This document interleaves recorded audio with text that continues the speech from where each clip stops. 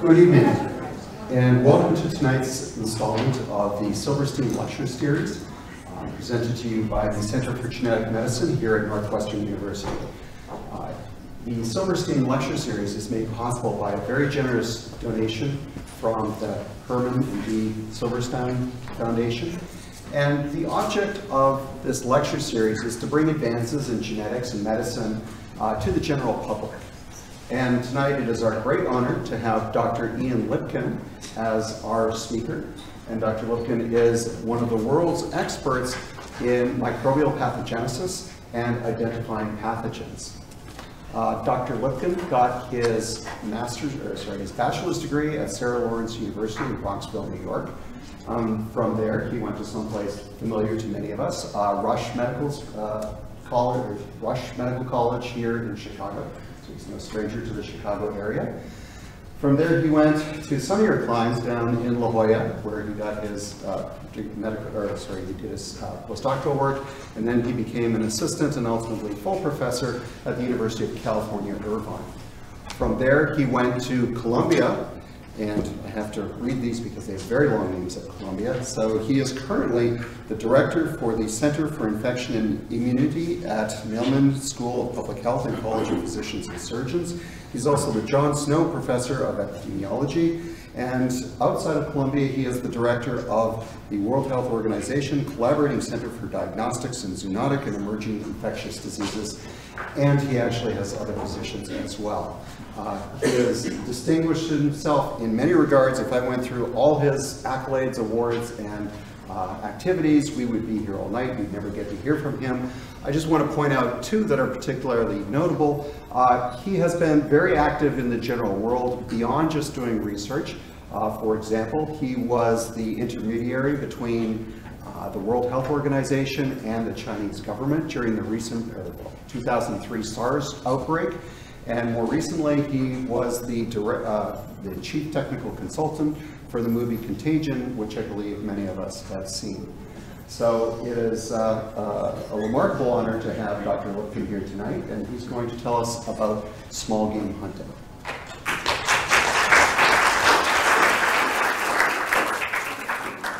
Thank you. I'm going to,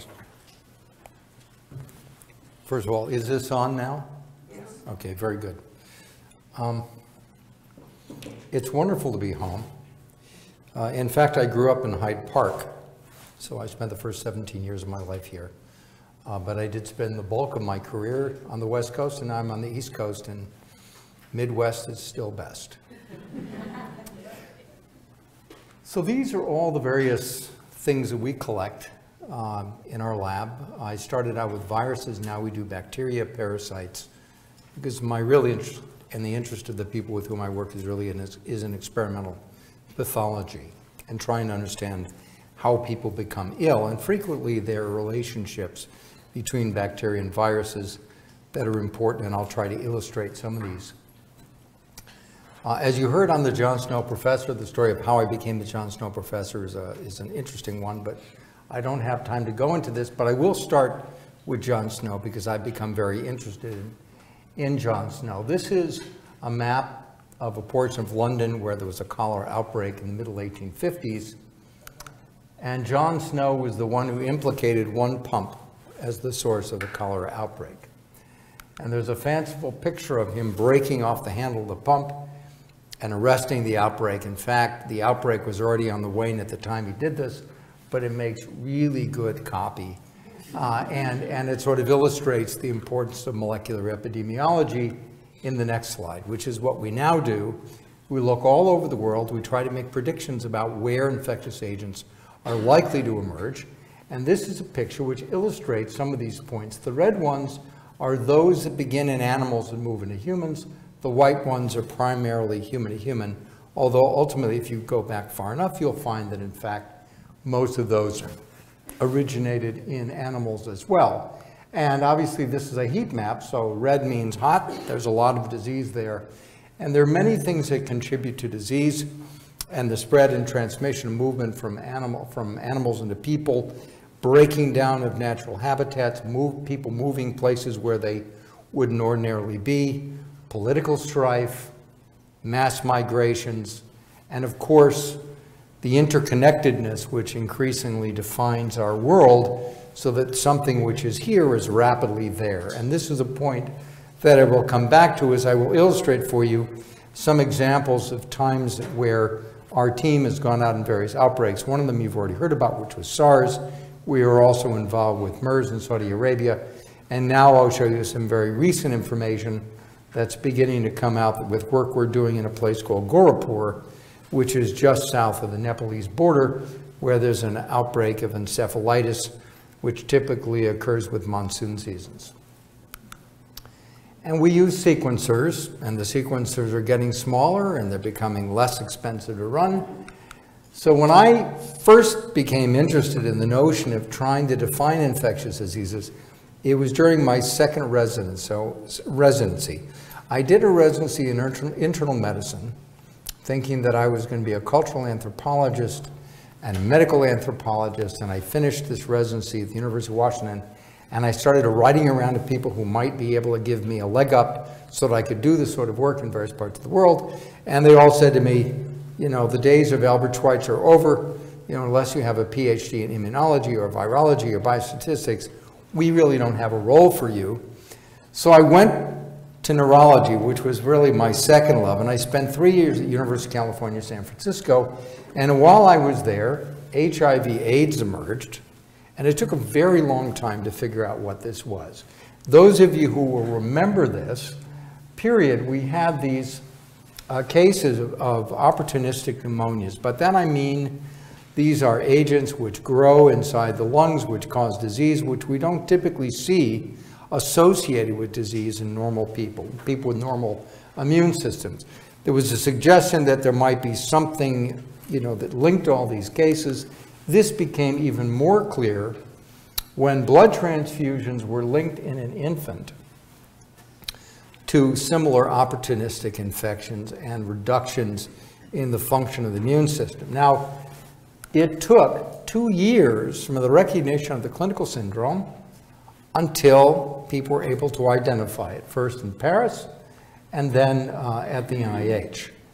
And I was struck by this, and I decided that what I really wanted to do was to find ways in which we could shorten that time. Because as a physician, I was always struck by the fact that someone would come in with an obvious infectious disease, and we had no idea what it was, and we would use this approach called broad spectrum coverage, making our best guesses as to what we thought infected someone and there had to be a better way to do this. So what I began doing was working with some neurobiologists at Scripps using a method called subtractive cloning, which was extraordinarily tedious. And for those of you who are of my vintage or earlier, you'll remember what this was. Large amounts of radioactivity, hybridization solutions, cDNA libraries. It took years to do this. And in contrast, now with these new sequencing systems, one can rapidly identify infectious agents in a matter of a few days. And we've now done, I've lost track actually, it's now over 1,000 viruses.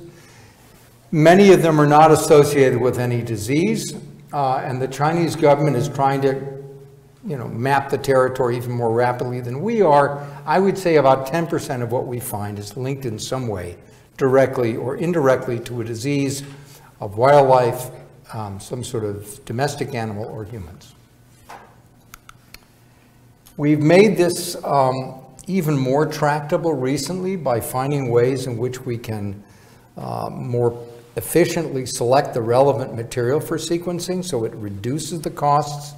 This was a method that we reported a couple of years ago that was finally licensed by Roche. And what this allows anyone to do, really, is to take a sample, use these sorts of kits that we've prepared and achieve what used to take us weeks to achieve. And it really is quite simple, and as I say, it's now licensed and other people can use it.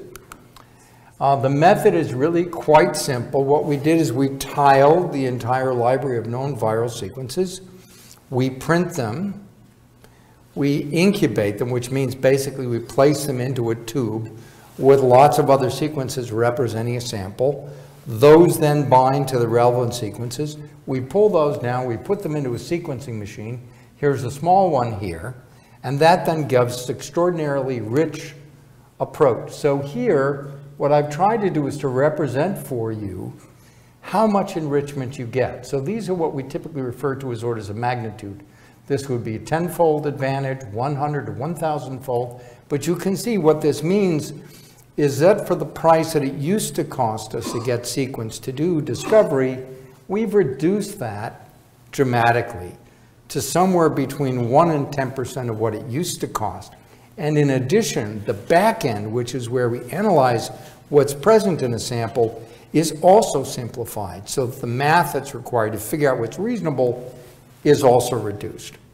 The, a couple of days ago, we used this approach um, in the ICU where there was somebody who had an unexplained meningitis, who had been placed on what was presumed to be effective therapy for that meningitis. That individual wasn't improving. We used this sort of an approach. We identified a fungus, and that individual is now improving. So at Northwestern, I'm sure if you don't yet have it, you will have it shortly, and people will be doing this not only for viruses, but for bacteria and fungi and all the pathogens of interest. Um, as I look around this audience, it's clear to me that this is probably not a relevant slide, so I'm just going to move on. Um, these are the various places worldwide where people are now beginning to use this system. It is really quite simple, uh, and I'm going to give you a couple of examples of how powerful it can be. So Columbia has a global reach, as do many universities, and we run programs in Africa and elsewhere. And here's a survey of respiratory disease that we undertook in Uganda, where people had used traditional molecular methods and had failed. We were able to find a wide range of viruses, which has impact for when people think about what might be the appropriate vaccine to develop next. So we all know about the polio eradication campaign and measles and other viruses. Well, what's next? So you can look at the burden of disease and try to make decisions about how to invest. We've done the same sort of thing in encephalitis. This is some work that we've done with a group in Liverpool, again, where they failed to find things. And you can see here now that in a third of those, we've resolved, resolved the question and found additional agents and again, you can use this for public health to make decisions about how you will want to approach a problem. With support from the Gates Foundation, we've extended this kind of an approach to bacteria as well. And this will allow us then to do the same thing with bacteria that we've already done with viruses.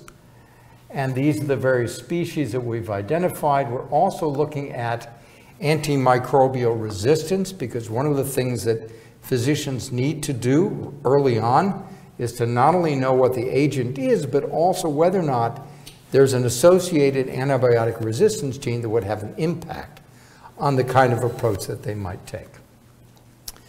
All of that aside, sometimes these methods fail. If you have a truly new virus, which is what happened in the first virus I discovered at the beginning of my career, and this one more recently, which was a virus that's wiping out large numbers of tilapia, billions of dollars worth of fish, you have to use unbiased methods. And this is an example of this sort of work.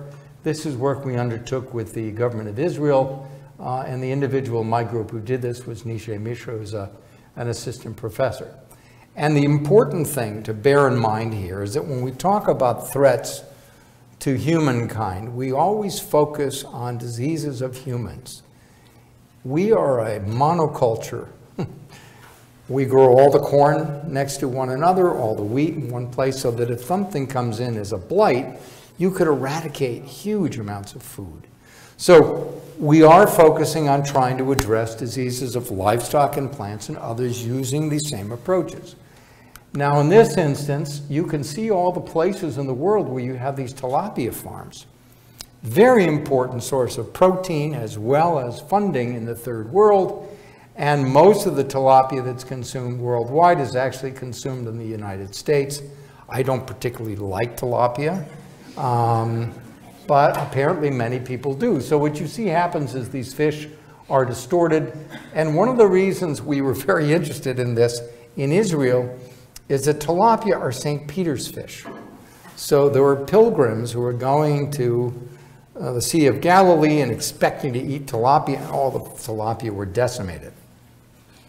Also in Ecuador, we had the same problem. So when we began doing high throughput sequencing, we didn't find anything that remote, looked remotely like anything else. But what we did find that will be interest to at least one person in the back of the room is that there were 10 segments that were consistently found in the preparations from the fish that were sick, and they ranged in size from about a half a kilobase to one and a half kilobases, and at the termini, they were similar. This suggested to us that we might have a segmented virus, and when we really pushed hard, we found a vague resemblance at the protein level to an influenza protein. We then labeled those genome fragments, and we took samples from the intestine, the liver, the heart, and brain of these animals, and demonstrated that we could see signal corresponding to these gene segments, which told us that we had localized this infectious agent to the very tissues where we saw the disease. Electron microscopy revealed these regular particles, which look like viruses and in turn represent viruses. And then we did what's known as northern hybridizations and demonstrated that there were correlates in the molecular cycle, the replication of this virus that were associated with each of these individual gene segments. And as a result of this work, we are now making a vaccine which is being used to treat these fish, which will save billions of dollars and hopefully um, help Colombia to some extent, building its endowment. Okay. So uh, now I'm going to talk about um, the whole process of pathogen discovery and how much uncharted territory there might be. I'm going to make, I'm going to talk with the caveat that this is very sloppy work, but it's really the only way we could do it at the time. This work was largely done by consensus PCR. This is a method by which you take specific sequences that are common to viruses representing specific classes or species or genera. You can just think of them as types of viruses for this purposes of this talk. And we then use this method to see whether or not in this one species of mammal, giant, um, these giant flying foxes, also known as Tropius giganteus, whether or not we had any of these viruses. And we found that in fact, there were 55 viruses in the population we studied in Bangladesh 50 of them using criteria that have been established by the, the group that classifies these things called the International Committee for Taxonomy of Viruses. 50 of them met the, the classification as being novel. So that was interesting, and we were able to publish it in a journal that people care about and so on. And what we then decided to ask was whether or not we could use these findings to make predictions about how many unknown viruses there might be at a certain snapshot in time if we went across all mammalian species. So what this requires is some, you know, a few things that I have to define for you. So if you look at the number of mammalian species that are known worldwide, at the time we did this work, this work it was roughly 5,500. If we had stopped sampling at a certain time point, we were able to say we would have captured this percentage of that percentage of the next, and that then allowed us to extrapolate what would be the case if we wanted to look at all of these mammalian species, again at one time point. We calculated from that very coarse sort of figure 320,000 viruses as the lower bound, and then we said Using the methods that we'd employed, it would cost us about 6.3 billion US dollars to get them all, $1.4 billion for 85% coverage. And then one of my co-authors insisted that we try to sell this from the vantage point of how this is a great deal. So we talked about the economic impact of SARS, and then we talked about MERS and all these other things. And we said, look, this is a pittance compared to what all these other things cost us. And I got, I had a call from the World Bank, and they were very excited about this project for about a day. And then they called me back and said, thank you very much, Professor, but I don't think, I think we're going to pass. So um, in any event, it's interesting to consider all this uncharted territory. I'm not saying that all of it causes disease. Now, I'm going to show you an example that people don't generally cite it's actually the only example thus far where using these approaches has led to the recognition of an infectious agent that has actually resulted in the interruption of an outbreak. This didn't happen with Ebola, didn't happen with SARS, didn't happen with MERS. It did happen with this virus named Lujo, after Lusaka and Johannesburg. Lusaka, Zambia, Johannesburg, South Africa. And this was when we were just beginning to work with WHO, and we were asked to evaluate samples that had tested negative for a whole series of candidate agents, including viruses associated with hemorrhagic fevers like Lassa fever and Ebola and Marburg. And these had been tested at a variety of locations. We're only talking here about South Africa, but Atlanta as well. So what we did was to find samples from these individuals, and I'll show you how this played out in a moment. This slide makes the point that the identification agent was critical. There was a woman who was 36 years of age, healthy. She was a travel agent. She was taking people on a safari. She cut her leg. She became sick, so sick that she lapsed into a coma. She was airlifted to uh, Johannesburg to a hospital where they had containment. On the way, she infected the paramedic who was with her in the plane, the nurse who received her on the other end, the cleaner who took care of the room. All four of these people died this nurse took care of these people. She became sick, and she alone survived. And the reason she survived was because we identify the agent as an arenavirus. She received, received ribavirin treatment, and she survived. So she was sick for four days, and she improved. We still don't know the reservoir for this particular virus, and it is the most lethal virus described to date. I showed you 80% mortality in young, healthy people who had no risk factors that we know of. And it would have been 100% if that last individual had not received therapy. Now, I'm going to talk with you a little bit about MERS to sort of illustrate how we go about trying to track down the reservoirs for infectious diseases and how we investigate how people become ill. Many of you remember that in 2012, there was a man who was otherwise good health, or so we thought, in a town that was remote uh, from Riyadh in Saudi Arabia, who developed a progressive pneumonia. A virus was identified in Riyadh, or Jeddah, I'm not sure, I don't recollect at this point. It was sent to Erasmus University where Ron Fouché sequenced it, described it as a novel virus, coronavirus. And we were then asked by the Ministry of Health to go to Saudi Arabia and see if we could figure out where this virus came from.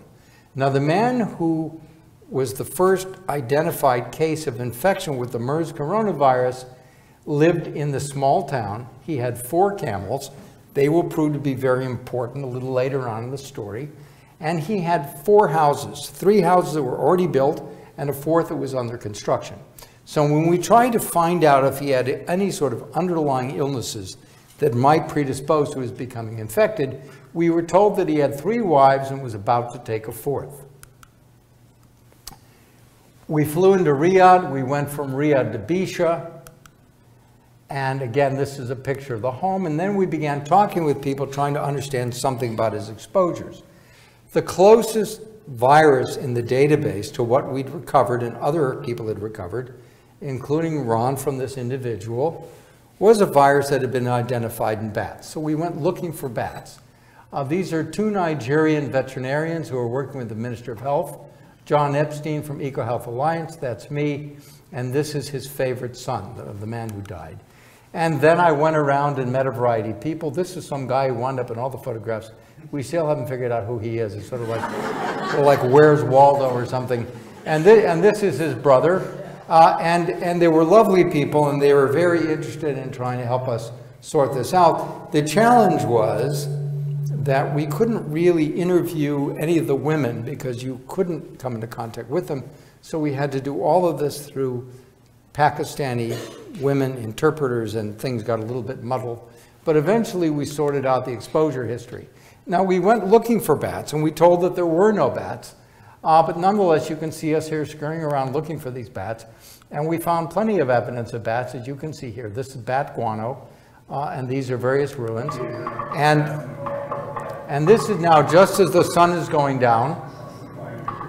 There are four of us who are out there, and we're taking this video so that we can prove that, in fact, there are bats. And then we went back to this man's home, and we swabbed these camels. Now, many of you may not know this, but the Saudis have different types of camels. They have camels that they use for working. Those are frequently the camels that they eat. They have racing camels, and then they have what are known as beautiful camels, and the beautiful camels are pets. And this, as you can see, is a beautiful camel. He's quite shy. And you have to get dressed to swab this beautiful camel. Uh, this was our driver. This is just before we go into the caves to collect specimens. And we did find one bat that had sequences, but it was not enough to account for the outbreak. So we then began looking for other evidence within the kingdom for infection. This required building these um, remote sampling app, you know, kits that would allow us to not only do molecular biology, but also look for antibodies. Because when you have an infection, if you're lucky, you catch it there at the time that it's manifest. Sometimes the infectious agent is gone and all you have are the footprints, that is to say the antibodies that tell you that the animal, the human, has been infected. So we wanted to take this approach. Um, and then what we did was we went all around Saudi Arabia and collected specimens, including in this area here known as the empty quarter. The empty quarter is truly empty. No, no, no oases, no vegetation. It really is difficult. Um, and we looked initially for antibodies, and what we found very quickly was that 95% of the adult camels, that is to say camels over the age of two, had antibodies, indicating that they'd been infected. 55% of the juveniles, that is to say animals under the age of two, for 74% antibody positivity if you're looking at hundreds of camels all over Saudi Arabia. When we went looking for infectious virus or viral nucleic acid, it was the reciprocal. So the animals that were the juveniles, less than two years of age, were more likely to have virus or virus nucleic acid than the adults. And what apparently happens is that the infection occurs quite early. Every single outbreak we know thus far in humans has been linked to an individual who has had a contact of some sort with camels. Now, once it moves into the human population, that becomes different again. And I went back and did some work in hospitals in Saudi Arabia, and we found that there are individuals who are healthcare workers who are becoming infected who are using masks that were designed to prevent aerosol transmission, but they were wearing them over beards, which obvi obviously they're not going to work. So we had some effect there just by doing simple changes with hygiene. We were then told, people were very upset about the idea that camels had MERS coronavirus, and that said in our cases, two-thirds have had no contact with camels. Directly, yes, but not indirectly. They've all had indirect contact. And here when we went through Riyadh, this is a butcher shop. What you typically do is put the head of a camel here to illustrate the age of the, of the uh, meat that's there. And if you've, uh, has anybody here ever eaten camel? It's, it's very, very chewy. It's sort of like um, very old mutton, so I don't really recommend it. Uh, but you can see here, this is, this is within Riyadh, and you can see people are very engaged with their camels. I have no idea what this guy's doing, but I think it makes the point that there's plenty of opportunity.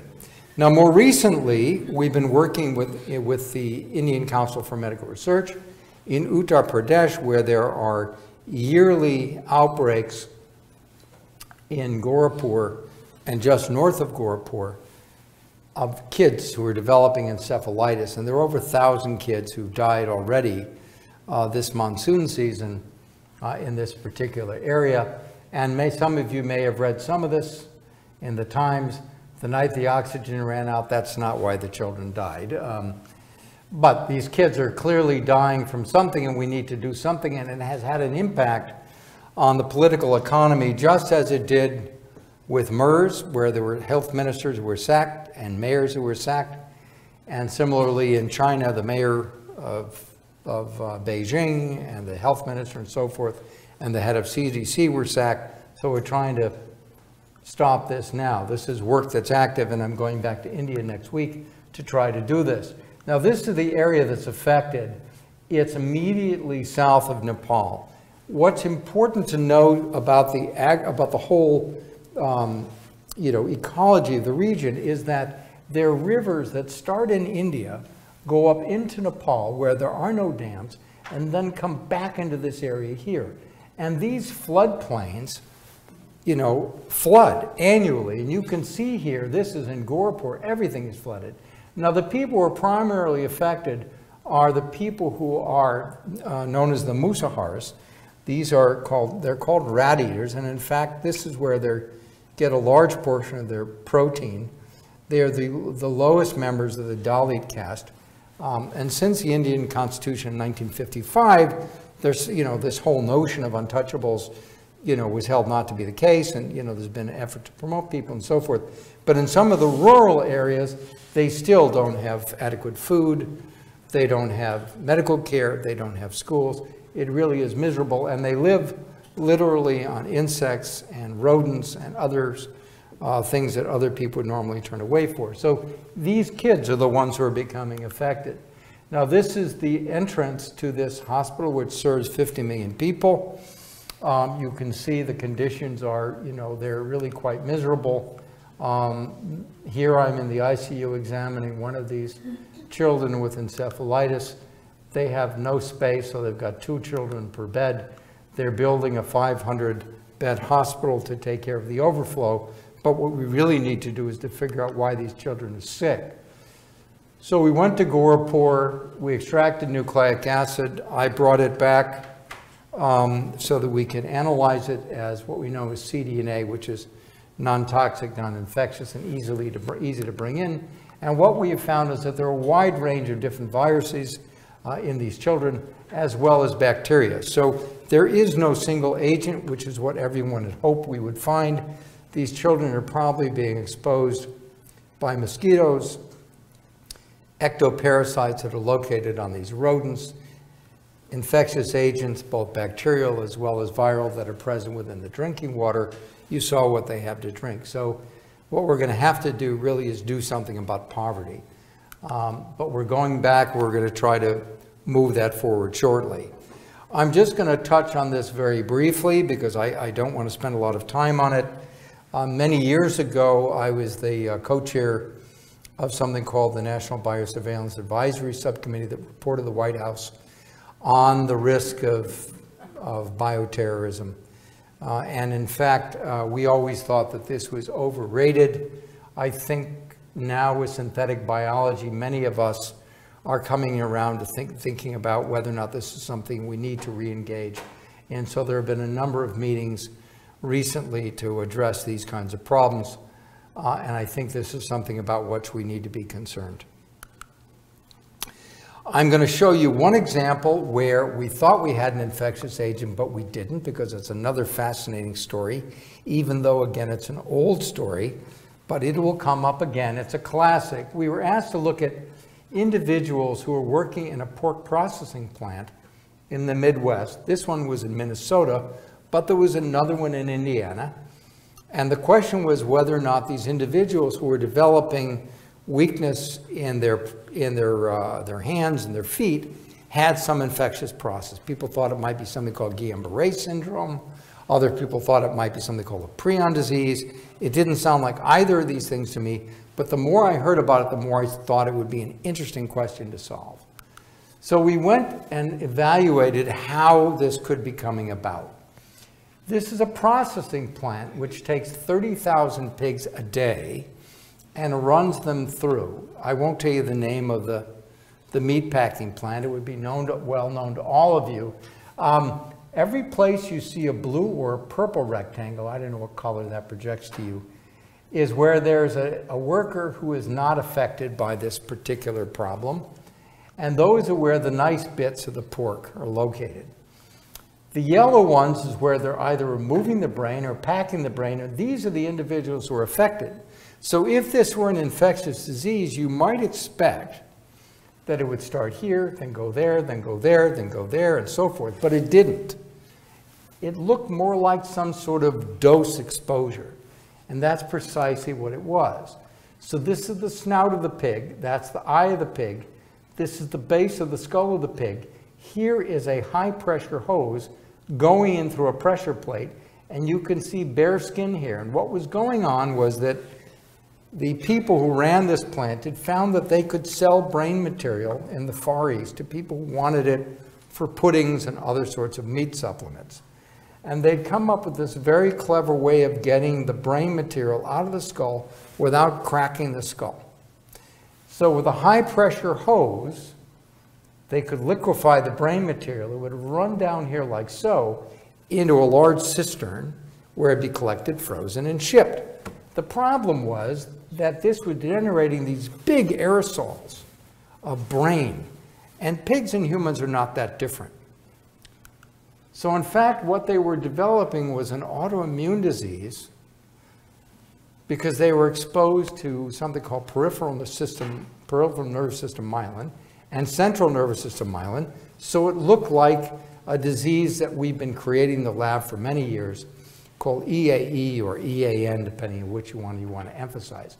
So the solution for this particular problem was to simply stop doing this.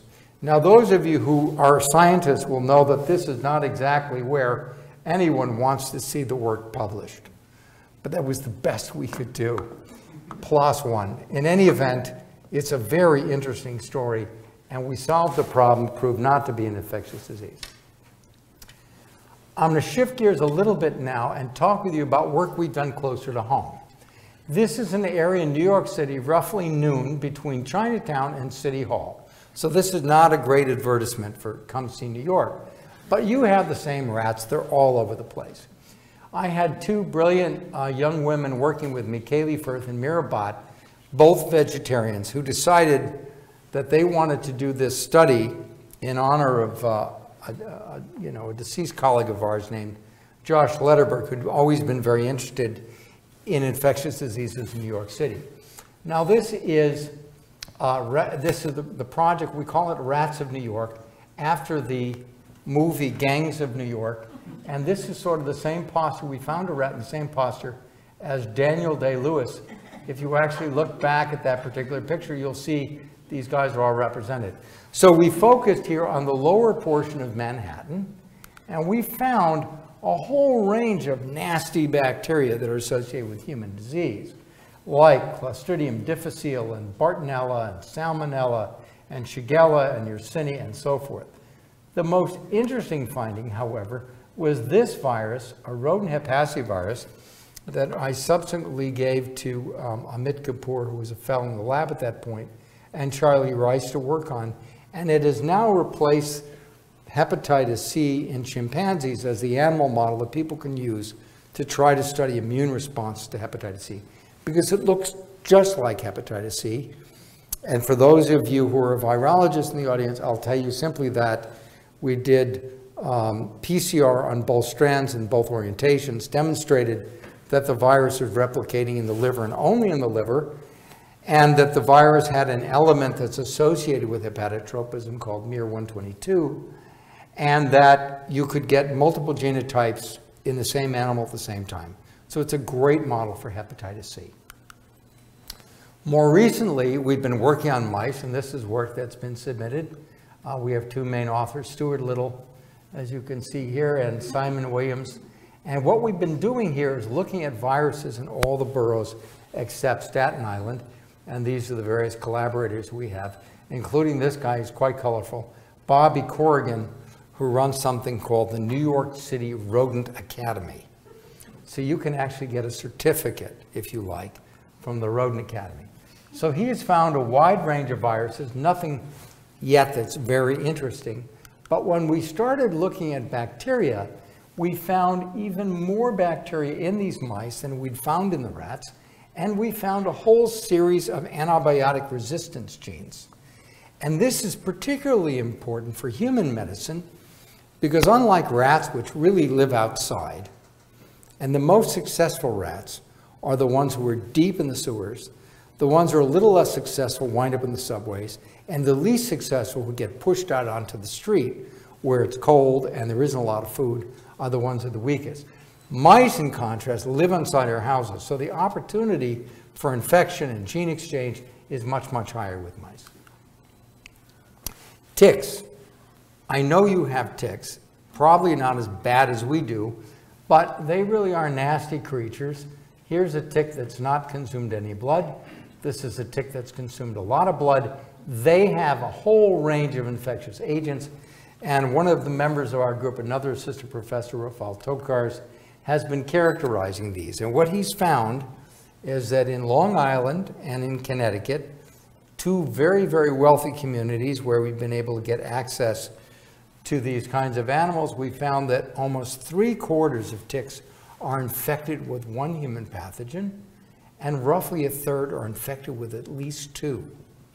Leading us to the next question, which is, why isn't there more disease? And the answer is, there's in fact a lot of disease.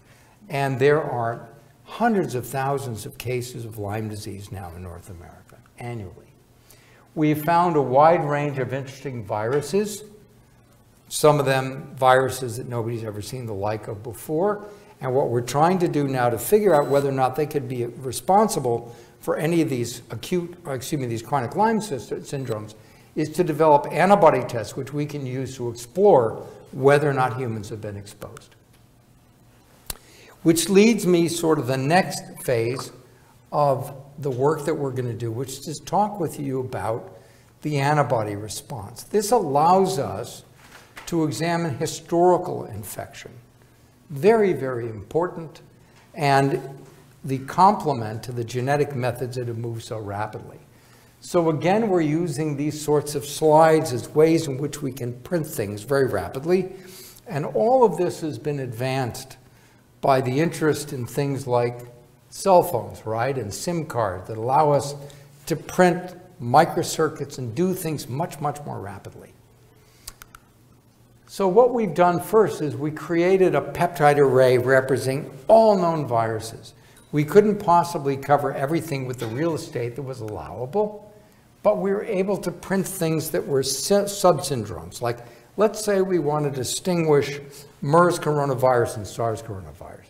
This is a single letter code which represents the amino acids encoded by the genomes of these viruses. And you can see that there are very different patterns that are picked up by individuals who've been exposed to those two viruses. Now, the most relevant and important example of how we're going to use this is with Zika. So we recently um, were named as the people responsible for generating the molecular diagnostics for what's known as the ZIP study, which is the Zika, Zika and pregnancy study, which is designed to figure out what the ramifications are of infection during pregnancy with Zika virus. The challenge is that Zika virus typically is associated with areas where we also have dengue virus infection. So if we want to know whether or not an individual has been exposed to Zika, we can't do it using the usual sorts of methods. So by printing these very, very discrete arrays on microscope slides that are 70 by 25 millimeters, we can identify individuals who've been exposed to Zika or dengue or both. And this then will allow us to tell a woman who's been in an area, you've been exposed to Zika or not. Now, what I can't share with you today, because I don't have permission to do so, is that we've done metabolomic studies now on plasma and serum from women who have been exposed to Zika and had children with microcephaly, and women who've been exposed to Zika and don't have microcephaly, and we have found products that serve as biomarkers that will allow us to say, this is probably how you know, we can identify during pregnancy whether or not this is going to be a child who's going to be at risk for microcephaly. And the woman and the physician and the family can then decide whether they do or don't want to bring that pregnancy to term. We've also used this for tick-borne diseases. At present, the way you make a diagnosis of Lyme disease is that you have a two-step assay. It takes two days to do. You start with something called ELISA, which is a very crude assay where you take all the proteins of the virus or a select subset, you put them into a plate that's got lots and lots of holes, you add the blood from the individual, and then you come back and you say, this one looks like it's got antibodies and this one doesn't, based on a change in color that you can observe in a specific instrument. And then if it's positive, you then need to do what's known as a Western blot or a neutralization, which means that you have to do a much more complicated assay, and that takes time and it costs money. But with this approach, you can find simultaneously in one assay that there are several indications that the individual has been exposed, and you can say, this person needs to be treated for this or that. In addition, because we're able to do more than just the causative agent of Lyme disease, we can also say, you have a whole series of other things that require different types of treatment regimens. So at present, you can't go to your physician and say, I would like to be tested for exposure to all of these different agents. But within the next year or two, this should be feasible. And these are the kinds of things that I wanted to do when I was a practicing physician, but I think are now tractable and possible. So here you can see, for example, we can look at individuals with, Lyme disease, and we can see that early on there are certain things that are picked up. Later on, many more become apparent, and that's not surprising either. And here are individuals who are infected with Borrelia, but also have Babesia. So this means that you can't treat them with one antibiotic, you need to treat them with two. So this is going to be very important, it's going to have a huge impact.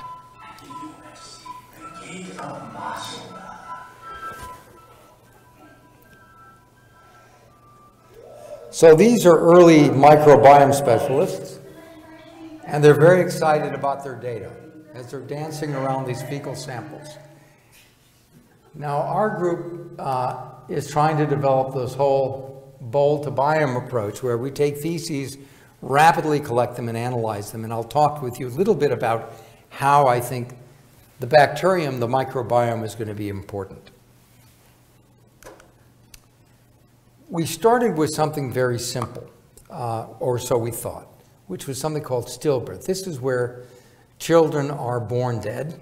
Uh, it's very common in the developing world, less so uh, in, in the developed world. Some of these children have genetic defects, but many of them don't. And what we focused on with a team that had been studying this from a genetic perspective was whether or not we could get a handle on what was going on in those individuals who didn't have a genetic defect, didn't have a placental defect, but had something that looked like it might be infectious. The first thing we did was to use a method called 16S PCR, which gives you a very crude read on whether or not there are bacteria in a sample.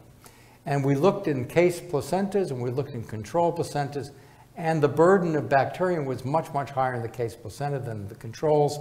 And in the case livers, we found the same bacteria that had been identified in the livers. And we didn't, obviously, we don't have any control livers because none of the parents were willing to let us sample the livers of their normal children. They're just difficult that way. Um, but then when we went back and looked at the placentas and asked what the, what the flora were, what bacteria were present, the red ones illustrate those that are associated with stillbirth, and the green ones are live birth. And you can see quite rapidly that certain things come out.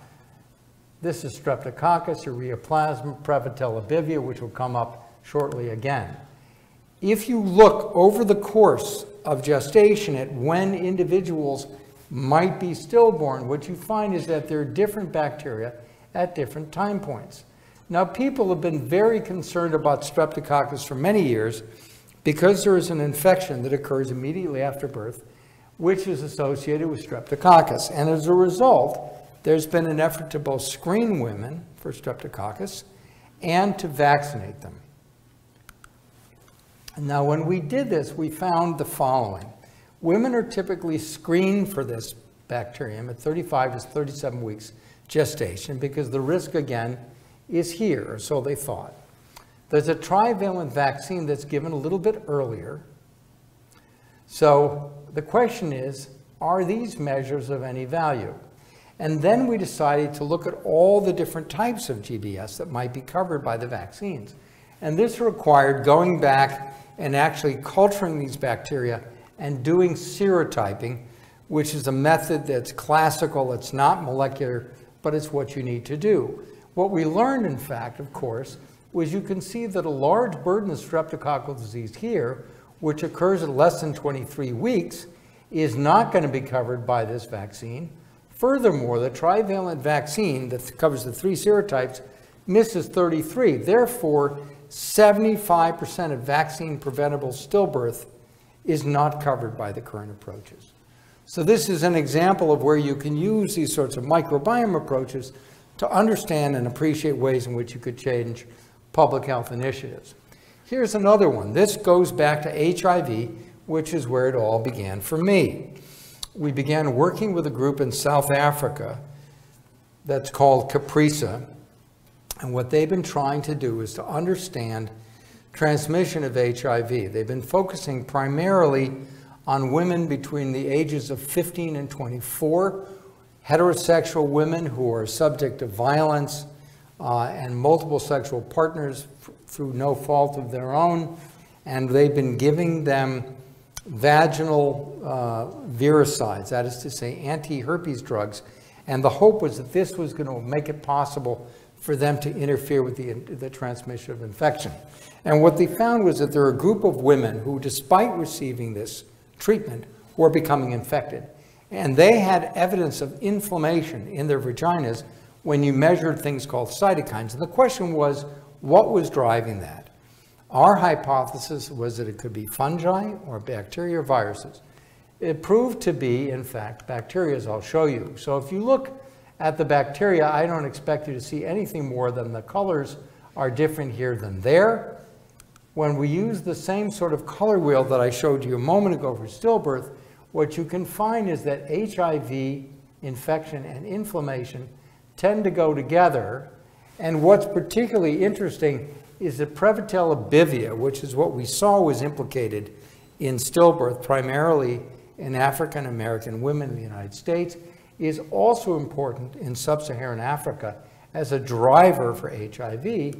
And these two, Shuttleworthia and Megasphaera, were actually protective, suggesting that you might be able to use vaginal probiotics to reduce the risk of infection with HIV. So you can see where you can begin to put this together and look at very interesting new ways to treat. And here's the mechanism. So P. bivia, which expresses a component of the bacterial cell wall called polysaccharide, lipopolysaccharide, drives these cytokine levels, which draws the infectable cells into the vaginal vault, breaks down the vaginal mucosa. And we're very excited about this because even though we don't have an HIV vaccine, we may have a probiotic that may be of some help. The last thing I'm going to talk about is chronic disease. And this is more complicated because here now you're integrating not only the infectious agent, but the genes and the environment and the timing. And this is extraordinarily important because this is really, I think, the future of, of microbiology and certainly virology. This is a model based on influenza virus, but you can do the same thing with this component bacterial cell wall that I just showed you was driven by P. vivio, or with something called polyinosine cytosine, which mimics replication of viruses. These are mice roughly halfway through gestation, gestational day 9.5, and if you expose the mothers uh, to this uh, stimulus, whether it's influenza or it's LPS or it's poly-IC, you get the same effect. The animal is withdrawn in the corner of a cage, whereas the animal that's the control is running around and exploring. If we do the same thing several days later, the control looks fairly similar, but this animal is hyperactive. So what's interesting here is it's the same genetic background, the same exposure, different timing, profoundly different effect. And the profoundly different effect is a function of the fact that the different areas of the nervous system are at risk at various points. And that's what this illustrates. Now, obviously, We can't do experiments like this in humans, but what we can do is go into birth cohorts. Some of you may aware of this, be aware of this large cohort of a million people that's already been set up in the United States. But the Norwegians, uh, and I've been part of this since 1999, 2000, this is actually why I moved to Columbia, have been doing this, and we now have children who are 18 years of age. And what we're trying to do is to go back and look at samples and questionnaires that have been obtained prospectively before diseases manifest and see whether or not there are insights that we might get as to exposures at various time points. So we've looked at alcohol and smoking and a wide range of other things. And this is intuitively obvious if you think about it because when you're pregnant, you're told to avoid certain kinds of drugs, certain kinds of exposure, and so forth. So why wouldn't we expect that an infection would have such an effect? If you have more than three episodes of fever after the first trimester, your odds rate of having a child born with autism go up threefold. If you take acetaminophen, acetaminophen reduces your risk, except in the instances where you take acetaminophen for something other than fever, like headaches or pain, in which case it increases your risk. And if you look in cord blood obtained on the day of birth, you find that there are pro-inflammatory cytokines which are indicative of inflammation in the fetus at the very end. And what we've now been able to identify is that there are certain triggers that are infectious which are associated with this. If you have high titers of antibodies against herpes simplex type 2, not low titers, but very high titers, indicative of recent infection during pregnancy at a specific time point, that also increases your risk dramatically. Now, it's twofold increased risk, and there's a wide confidence interval for those of you who know what that means, but nonetheless, it's a consistent finding, and we think it's very powerful. But it's not herpes. If you have flu, you have the same thing. But this has to be flu where the woman is very, very ill. And we use this to make the argument that vaccination during pregnancy to prevent severe attacks of flu is something which is a critical public health intervention. It doesn't always succeed uh, with that portion of the community that's not interested in taking vaccines, but it's very important. Now, we were recently given a center of excellence, granted a center of excellence for investigation of myalgic encephalomyelitis, chronic fatigue syndrome. It would not surprise me if we had some people here who are interested in this. We have been doing microbiome research, metabolomic research, integrating all these things using topological networks that were originally developed for business, for people who want to make decisions about which stock is going to go up or down without knowing anything about the underlying mechanics of that industry. You can do this, and this has recently been applied for biology, and we have found now that there are specific populations of bacteria that are important in individuals who are who are, you know, higher than normal body weights, and we've been able to link these to specific biosynthetic pathways that have an impact on energy metabolism, brain function, and this is just beginning to open up. It's very exciting. We have another project uh, where we've looked at spinal fluids from these people, and everything is beginning to hang together. So if there's anybody in the audience who has ME/CFS or knows anybody who has ME/CFS, the attention that's recently been you know, focused on this condition will pay off. And I think three to five years is really the time frame that we should be considering. I'm going to close with a movie, Contagion, which is sort of the best of Contagion, unless you want me to shut down, uh, which I'm happy to do too. I was asked to make many movies. This is the only one I decided to make. It was interesting because two days in a row, I met with a representative from somebody who'd built uh, Blade Runner, which apparently didn't do that well last weekend, uh, and, and Steven Soderbergh. And Soderbergh said, I want to make a realistic movie. Now, there are flaws in this movie, but it's the best of breed, okay? And that's all we could hope for. So I'll just show you a bit of that uh, and then take questions.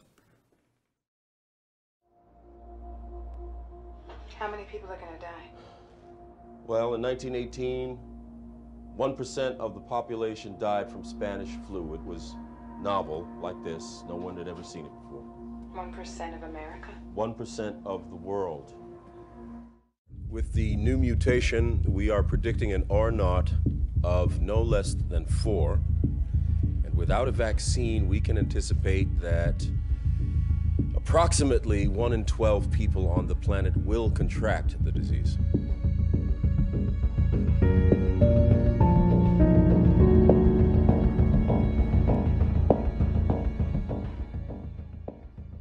So at this point, I think we have to believe this is respiratory. Maybe fomites, too. What's that, fomites? Uh, it refers to transmission from surfaces. The average person touches their face two or three thousand times a day. Two or three thousand times a day? Three to five times every waking minute. In between, we're touching doorknobs, water fountains, elevator buttons, and each other. Those things become fomites. Honey?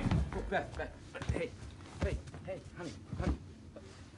Beth, Jesus, Jesus. Sweet, sweetheart, sweetheart. You had a seizure this morning, Beth. Have Right. you had something like that She have a before? history of seizures? No, no, no, no. Allergies, other No, medical uh, problems? uh, she's, she, I think she's She allergic fall to pe- recently? penicillin. Hit her head no, in the no, shower? no. She came back from a trip and she. she What was- about drugs? MDMA? Ecstasy? No, no, we don't do that. Okay, let's Jesus. get some help. Beth, Beth. Beth, we have to go. We have to go. Let's get a line in her. Centers for Disease Control and Prevention in the United States and the World Health Organization in Switzerland confirmed today that Dr. Ian Sussman of San Francisco has succeeded in growing the MEV1 virus in a laboratory setting. Officials at the CDC cautioned that the breakthrough is only the first step toward developing a vaccine, which is likely still months away from human trials. The WHO estimates the number of people infected worldwide to be over 8 million. Able to give out 50 doses today. That's our Forsythia 11. That's. Hey, there, excuse me, there's a line here. Excuse me.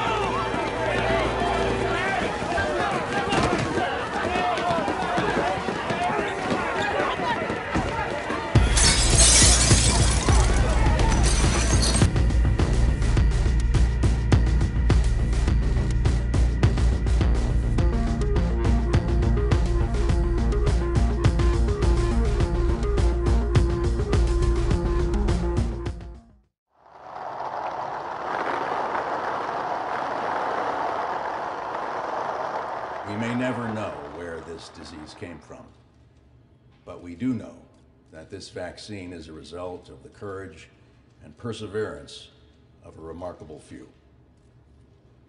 We shall now begin the drawing. John?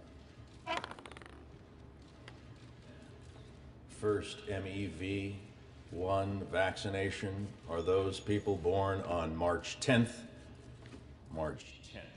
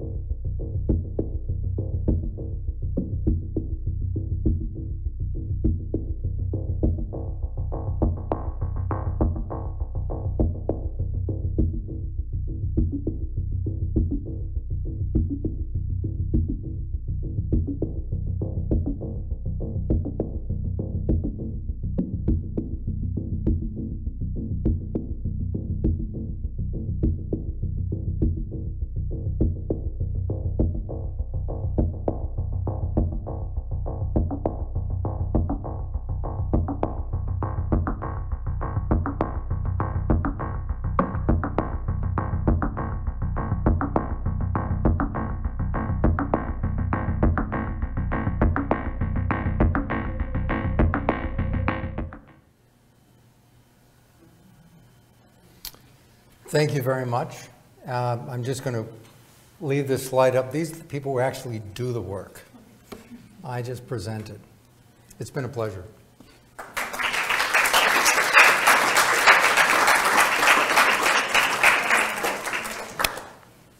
And I'm happy to take questions if there are some. Let me turn this on. Um, And I would ask that people use the microphone for questions because we are recording this and it would be great to be able to get the questions as well as the answers. So,